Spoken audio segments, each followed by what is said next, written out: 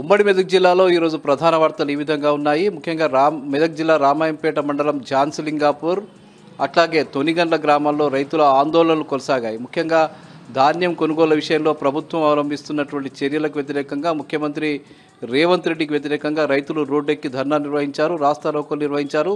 తక్షణమే ధాన్యం కొనుగోలు ప్రారంభించిన పక్షంలో పెద్ద ఎత్తున ఆందోళన చేపడతామని రైతులు హెచ్చరించడం జరిగింది.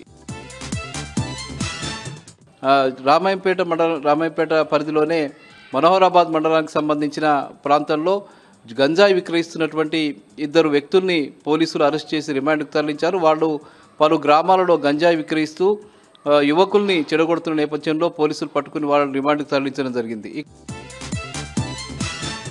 సంగారెడ్డి జిల్లాకు సంబంధించి సంగారెడ్డి జిల్లా హత్నూరా మండలంలో ఈరోజు జిల్లా కలెక్టర్ వల్లూరు క్రాంతి పర్యటించారు. అక్కడ సమగ్ర సర్వేకి సంబంధించిన ఎట్లా జరుగుతున్నది గ్రామాల్లో గ్రామ గ్రామాన సర్వే జరుగుతున్న విధానాన్ని ఆమె పరిశీలించారు. అట్లాగే ఆ మండలంలో ధాన్యం కొనుగోలు కేంద్రాన్ని పరిశీలించి కొనుగోలు జరుగుతున్న విధానాన్ని ఆమె పరిశీలించారు. రైతులకు ఎలాంటి ఇబ్బంది కలగకుండా కొనుగోలు కొనసాగించాలని చెప్పి ఆమె చెప్పడం జరిగింది. ఇక సిద్దిపేట జిల్లా వార్తలు వచ్చేసరికి సిద్దిపేట అర్బన్ మండలం బురుగుపల్లిలో చిరుత పులి సంచారం కలకలం కలిగించింది. ఆ బురుగుపల్లి గ్రామ శివార్లో ఒక పెద్ద చిరుత పులి దానికి సంబంధించిన రెండు పిల్లల సంచరిస్తున్నట్టుగా గ్రామస్తులు గ్రహించారు.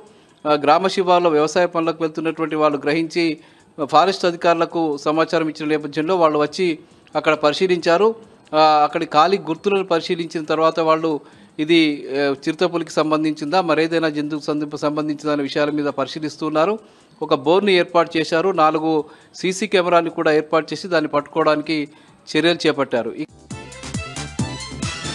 సిద్దిపేట జిల్లా కలెక్టరేట్లో కలెక్టర్ మనోజ్ చౌదరి అంశాల మీద ఈరోజు సమీక్షలు నిర్వహించారు. అట్లాగే రాష్ట్రం నుంచి జరిగినటువంటి వీడియో కాన్ఫరెన్స్లో పాల్గొన్నారు. ప్రధానంగా అనేక అంశాల మీద అటు ధాన్యం కొనుగోలుకు సంబంధించి విషయాలు కేంద్ర ప్రభుత్వం అమలు చేస్తున్న పలు పథకాలకు సంబంధించి ఈరోజు వీడియో కాన్ఫరెన్స్ జరిగాయి. అట్లాగే పరీక్షల నిర్వహణకు సంబంధించి గ్రూప్ త్రీ ఫోర్కు సంబంధించిన పరీక్షల నిర్వహణపై ఈరోజు వీడియో కాన్ఫరెన్స్ జరిగాయి. అందులో కలెక్టర్ పాల్గొని పలు సూచనలు చేశారు. ఇవి ప్రధానంగా ఈరోజు ఉమ్మడి మెదక్ జిల్లాలో ఉన్న వార్తలు.